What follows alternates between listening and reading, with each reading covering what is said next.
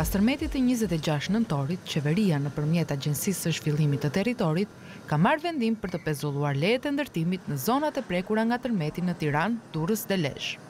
Për këto qarqe mund të merret vetëm shërbimi i aplikimit për leje ndërtimi, riparimi dhe restaurimi në rastet e emergjencave civile.